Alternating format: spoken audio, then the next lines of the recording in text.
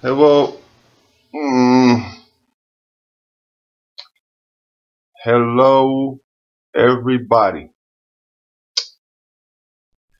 As you can see, I'm talking kind of funny right now. Just got back from the dentist office. Uh, well, this video is all about the fact that I'm trying to show you that I am genuinely serious. I look like Stallone for Christ's sake. Anywho, I'm genuinely serious when I say I'm, well, serious about my sobriety. Now, in order to rebuild my life, I got to go on a journey. I got to do a lot of things to repair my physical health, my mental health, you name it.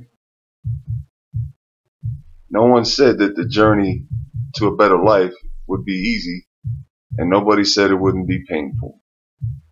Check out my bicuspid. Uh.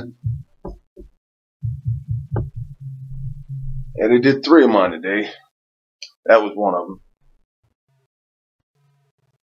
Oh, that's all for now. I just wanted to make that comment and show you my my tooth and everything. I can't. Adrian. Oh, that's weird. All right, y'all have a nice day. Uh,